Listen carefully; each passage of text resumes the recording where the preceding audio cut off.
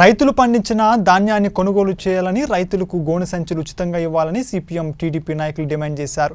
విజయనగరం జిల్లా పార్వతీపురం ఐటీడీ పరిధిలో గల కొమరాడ మండలం కోటిపాం గ్రామ సమీపంలో అంతర్రాష్ట్ర రహదారిపై సిపిఎం టీడీపీ ఆధ్వర్యంలో రైతులు భిక్షాటన చేస్తూ వినూత్న నిరసన తెలిపారు. దీంతో ఆంధ్ర ఒరిస్సా అంతర్రాష్ట్ర రహదారిపై కిలోమీటర్ల మేర వాహనాలు నిలిచిపోయాయి.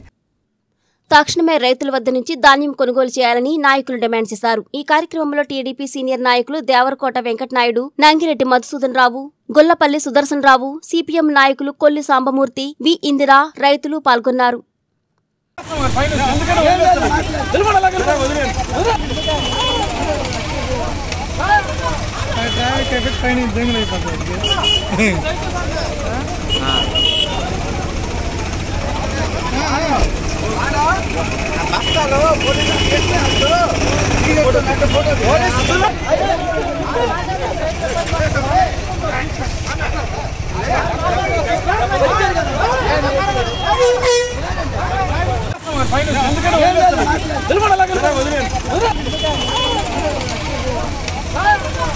ట్రాఫిక్ ఎఫెక్ట్ పైన జంగులు అయిపోతుంది.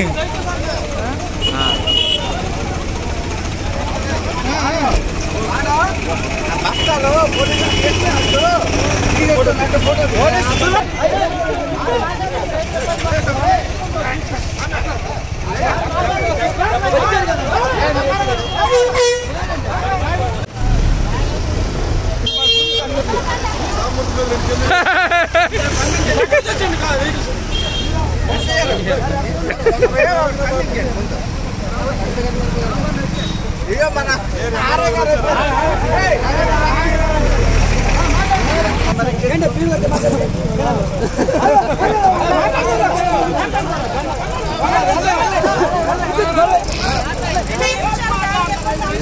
பிரதரா